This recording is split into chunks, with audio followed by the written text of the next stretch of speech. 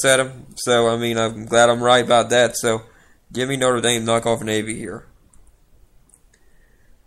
Number 14 is coming up next here on the list here as we track down the matchups of college football this week. What what outside besides you? Uh, what outside of a game you looking for in the top 25, Mike? Wait, what? Outside the top 25, what game are you looking forward to the most? Ooh, that's very tough. I haven't really been able to pay attention much to what's going on schedule wise. I've been so busy with school and work people that I have no time to really been paying attention to football. I've only been able to watch one game a week, basically the UL game, and that's it. So I was doing other stuff before that game. Yeah. Uh, uh, you know what? Actually, I think, and I think I saw this when I was actually looking at one point. I think Southeastern and McNeese are playing this weekend. That would be a game I'd love to attend. But uh, yeah, that's actually a game. Uh, that's actually a game I really, really want to attend, but I, I'm not because I'm just not going to do that. But I mean, I like both the schools, and I think it's going to be a very good game. They're both good teams in their conference. Uh, I got to go with that game. All right, that's good, Mike. Um, next game on the list, New Mexico State versus number 14 Ole Miss. Who you got in that game, Mike? Vaught Hemingway Stadium. They're playing at what?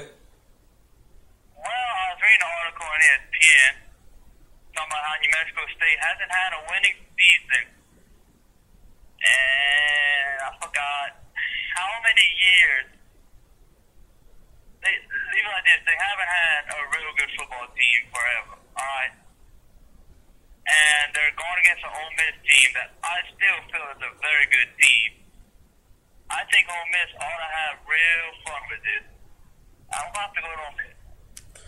All right, I'll, I read the article up E talking about why they schedule these hard teams and all, and they constantly have losing seasons. They're on a 12 game losing streak. I mean, if this was to be an upset, I think it'd be one of the biggest upsets in the past couple of years.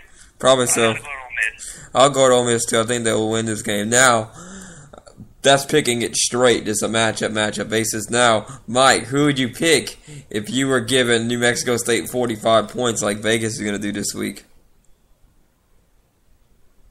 Wait, what? How? What?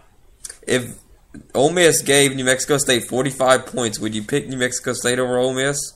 Or do you think they'll cover it? Uh, I, I don't know. I would. You don't think they would? Ah, yeah. I think Ole Miss could cover it pretty easily. I mean, like I said, this team they might have pulled something out, but when I look at how, like I said, we would always, I'll just talk off the back, off, off my hand, whatever, about how they haven't had a good season in a long time.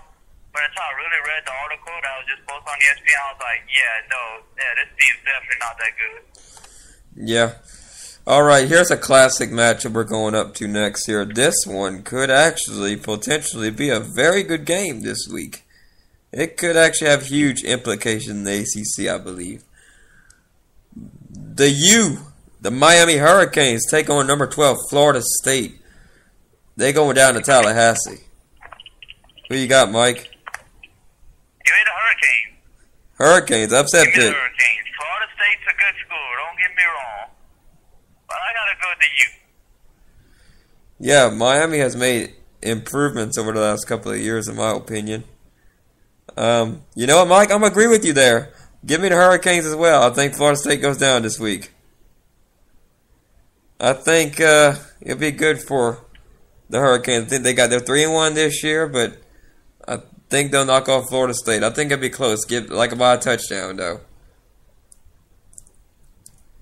Well, we agree on something there. Now, number 11 is the team that upset at Ole Miss last week, Mike, and I'm pretty sure you know who exactly who I'm talking about here. Yep. They uh did a very good they they wore them orange jerseys, which that was pretty cool. What you thought about Florida orange jerseys, Mike? I like them. I always like Florida Samba. Even their regular uniforms, they're pretty nice. I do like the colors, the blue and the orange going together and all. It looks pretty nice. All right, number 11, Florida versus Missouri, Mike. Who you got? Give me Florida. They're playing in Columbia, Missouri. If that changes your That, pick. that does that does no good. Missouri is not the team I and I think you both expect it to be. So I got to go with Florida, especially after pulling off the upset last week. Will Grier has been pretty good for Florida this year. Uh, Maty Mauk, he's been struggling this year. Um, yeah, Missouri's been a weird case this year. I think Florida will win this game though, and Vegas is saying three points, but I think it'll be more than that. Ten points, Florida beats Missouri. That's what I'm thinking is gonna happen. I think that huge win against Ole Miss, it's gonna be a big booster for this team here. They're gonna be able to thump their chest a little bit here. They might put more swagger and everything else like that. So now the Red River rivalry, Mike. Number ten, Oklahoma versus Texas. Who you got? Oklahoma. Easily, Oklahoma. Texas, man. They, they, they need to get their stuff together. They're about to lose. Tony Strong's about to lose. It's not a Ray Lawson block, is he? It is bad in Texas. It, it's like they need to hit the abort button fast.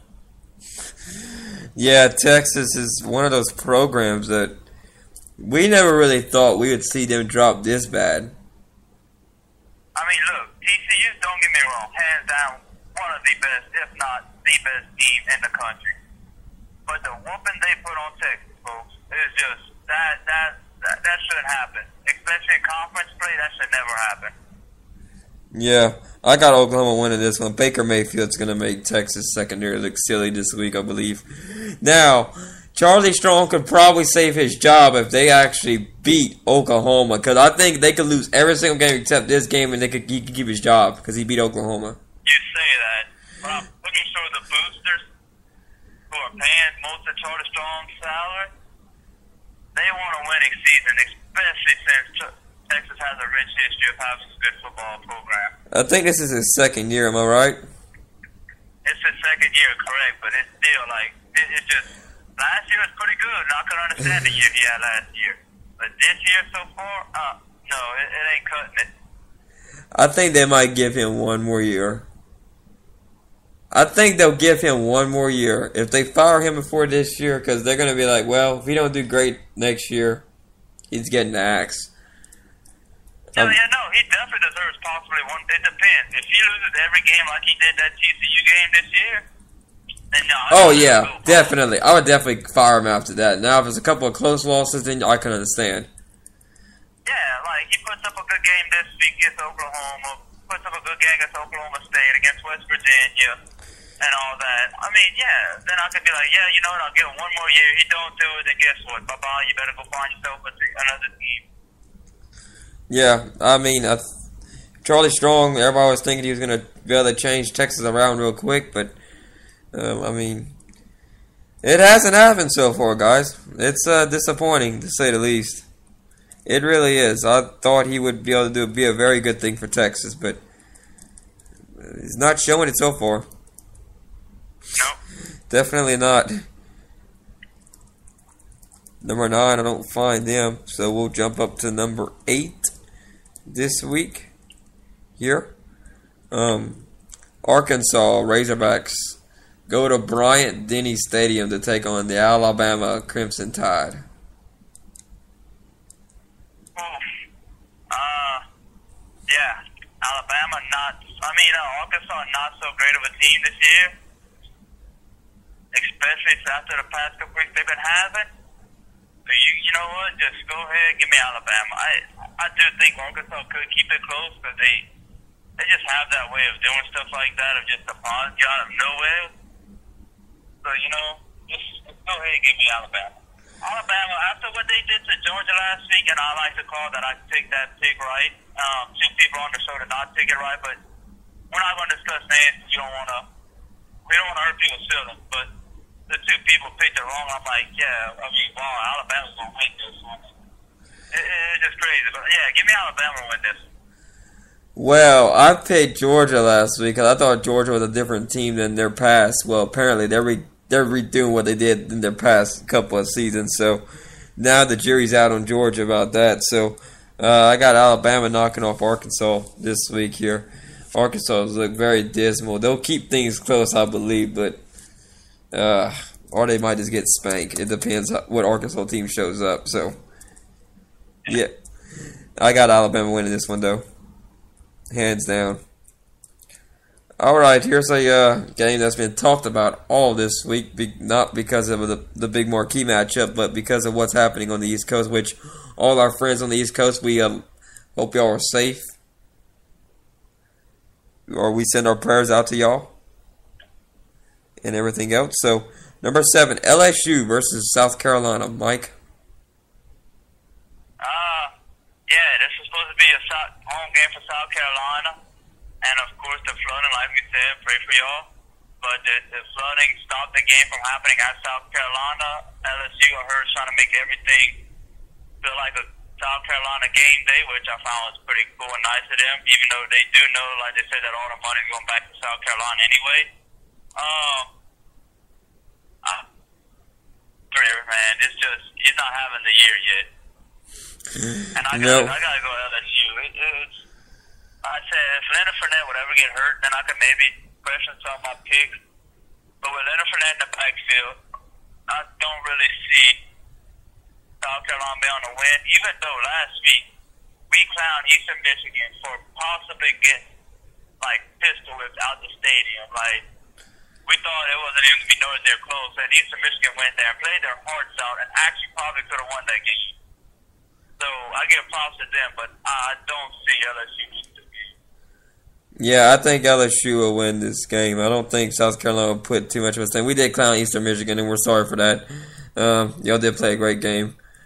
Uh, usually, Juicy's the one who starts the clowning, and I usually when someone starts clowning something, I usually jump in on it because I just like to clown things. We're we're a joking group of friends, so that's how we do things. That's how we are. That's how we are. We basically do this show like maybe having a conversation to each other, to each other, except all the jokes, some jokes we leave out because they're not appropriate. They're definitely not appropriate, but I mean, I got LSU Well, you know, knocking off South yeah. Carolina, though. I don't think um, South Carolina will have uh, Steve Spurrier. His team's in disarray right now, so they're two and three. I don't think they'll go into Baton Rouge and knock off LSU. All right, now we keep going up the list here, and uh, we're about to hit that top five, though, Mike. But before we get to the top five, Georgia Tech, which is having a very disappointing year, number six Clemson. Mike, Well, I think you said it all. Uh, give me Clemson. They beat Notre Dame. They're coming off a good win. Uh, Georgia Tech just, oof. Their biggest win was against Alcorn State, where they scored 70 points. And you're like, wow. I mean, yes, against Alcorn State, but wow, this team could score. And it just can't win. So, uh, yeah, I got, I got to with Clemson. yeah, I got Clemson winning this one too. Deshaun Watson's gonna be pretty good for Clemson, I think, this year, and uh, Wayne. Artavis Scott and all them, they're all going to do very well, I think, in this game. And they're going down to Death Valley in Clemson Memorial Stadium. So, yeah, give me the give me Clemson to win this game. I kind of find that kind of interesting that Clemson didn't move their game either. You know? I mean, I, I thought Notre Dame could have won that game. No, I'm talking about the uh, weather, the hurricane. Oh, that lose, oh, lose a game like that. Yeah, I mean, I mean, they're in South Carolina too, but hey, I don't know. I don't know. I'm not over there. I'm not over there to know what's going on. So it was just an observation. I don't know South Carolina enough to know where they're located and where, you know, all Yeah. that good stuff. All right, So, we're gonna skip five and go up number four. Michigan State versus Rutgers. Mike, Give me the Michigan State Spartans. I think Michigan State will win this one too. pretty confident about this one. Yeah, same here. I think Connor Cook gonna have a good day. I haven't heard him being talked about the Heisman too much, which I think he kind of deserves it. I mean, bottom bottom of the list, I find for sure. Yeah, but I think he should be talked about though. I think he's kind of deserved it. nah, Not in front of Leonard yet. You have to have a heck. No, All right, number three, Baylor versus Kansas. Mike, I see a upset happening somewhere else except at this game. Kansas, first week of football. I watched them play against, if I'm not mistaken, it was South Dakota Jackrabbits.